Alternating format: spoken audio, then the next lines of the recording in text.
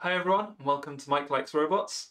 Last week we got the JetBot set up from scratch and moving around using the Jupyter Notebook. This week will be a quick start guide on getting the JetBot moving around using ROS2. We'll be using a keyboard and a PS4 gamepad to move it around. There'll be a second part to the video that I'll link at the top, but uh, it's separate because it's a deeper dive into how to get set up and write the launch files set up Docker, format the SD card, and so on. So let's get the robot moving. The first step to getting up and running with the robot is to make sure that our VS Code has all of the extensions that we need. So we're going to open up extensions and we need to install the dev containers extension and the remote SSH extension. Now we want to connect our VS Code to our JetBot using SSH. Inside here, we want to clone the repository that we're going to be using. So I'll give the link for that in the description, but we just want to do a git clone and then paste the link. Once that's there, we want to go into the folder. And there's two workspaces here. The incomplete workspace is a cut down version of the complete workspace. And if you'd like to see how to bring it up to par with the complete workspace, please see my deep dive video that I linked at the beginning and in the description. Otherwise, we'll access the complete workspace. Then we want to tell code to open it.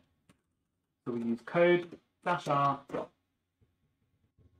Code has found that there's a dev container configuration file, so it gives us the option to reopen in container. We want to accept this option and then wait for it to build and run the container.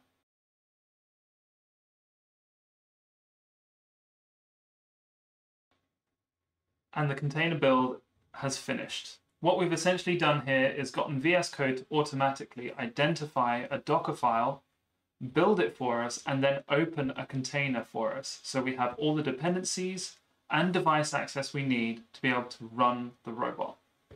If you're having trouble with this step, please check out the deep dive video. There's a couple of errors that it goes over how to fix. Now our complete workspace has been opened by VS Code. We need to build it to be able to run it. We can run colcon build and add our symlink install flag. This will build our code and make sure all the outputs are in the right place for, be, for us to be able to use it. The build tool comes installed as part of the Docker container, which is another reason to use it. Once that's complete, we need to source the setup file, and we're ready to launch both the keyboard and the gamepad ways of moving the robot. So for the keyboard, there's a two-step process. We need to run the keyboard node and separately run the motor controller node. So the keyword node we run by using ros2 run teleop twist keyboard teleop to keyboard. Now we can move the robot around using uio jkl m comma dot. And you can see on the right side of the screen how the robot reacts to that. So at the moment, if we press something, we're pressing I to move forward, nothing's happening. And that's because we need to run the motor controller node as well. So we need to make sure to source the same script. And then it's ros2 run, pyjetbot control, jetbot. Now our jetbot controller has started, and if we press I now, the robot starts moving. K stops the robot, and comma makes it move backwards. We can also use J and L to turn the robot, left and right.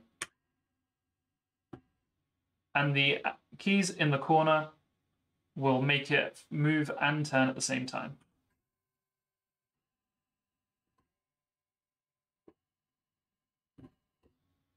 And that's full keyboard control. If we had a way of seeing the camera, we'd be able to drive the robot around just sitting here over SSH. But that's only one of the ways that we're running the robot. We're also going to use the gamepad.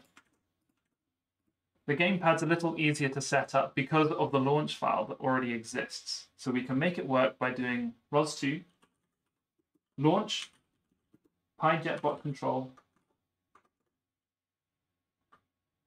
joy.yaml. Now, if we run these and connect our PS4 controller, whenever we hold the A button, it will enable the control. So we can move the analog sticks and nothing happens, but if we hold down A and then move the analog sticks, we can start to see movement. Forward and back on the left analog stick,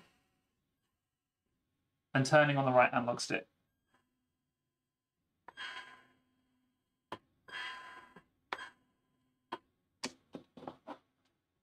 So that's it. We now have the capability of driving our robot around using a gamepad.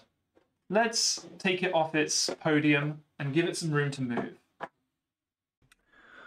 So we're running the Teleop Twist Keyboard ROS2 node, same as I showed you before. With this, we can start moving the robot with arrow keys. We can spin it left and right, move it forward and back, and circle it. But we can adjust the angular speed to about 0.5 by pressing the C button a few times. And now when we try, that's a lot slower. And we can do a curve. So there we go. Now we can use the keyboard with ROS2 to control the robot. Let's set up the gamepad. So now we want to connect the gamepad properly. So the first thing to do is check that the dongle is already inserted. Then we need to make sure the gamepad is showing a red light to show that it's connected.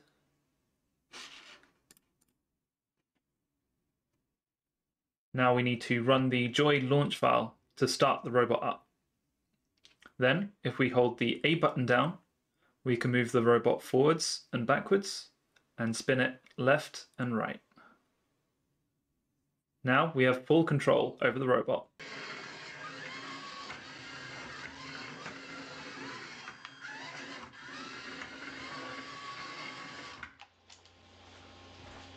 So that's it. We got the JetBot up and running using ROS2 and we drove it around using a gamepad and using the keyboard.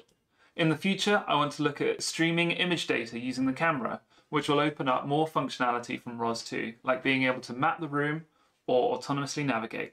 So, thank you for watching the video, and I'll see you in the next one.